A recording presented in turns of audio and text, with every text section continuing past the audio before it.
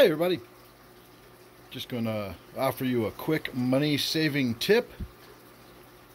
I go through this ritual about once every nine months and that is shooting a video of me opening a fresh package of Hikari algae wafers. I buy them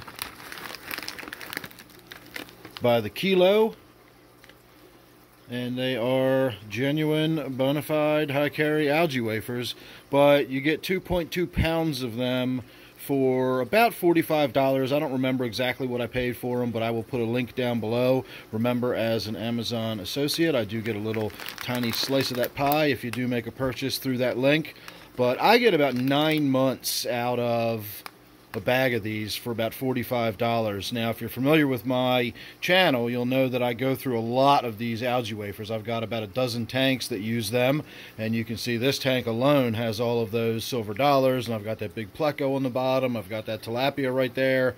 I put quite a lot of algae wafers in this tank alone every day, plus all my other tanks, and yet I still get about nine months out of one of these bags for $45. Now, if you compare that to the uh, 8 ounce or 12 ounce or whatever it is you get at the pet store that costs about $15, you get you definitely get your money's worth when you buy this. So if you're going to be using them over a long period of time, even if you've only got one tank, if you only want to buy algae wafers once every couple of years, then go ahead and check that link down below. If you've got a lot of tanks, then it certainly makes sense to buy a larger quantity anyway. So again, I will put a link down below to the Hikari algae wafers and that is one kilo. So thanks for watching. Hope you enjoyed. Don't forget to check out that link, and don't forget, as an Amazon associate, I do get a little slice of that pie if you make the purchase using that link, so I'd appreciate it if you would do that.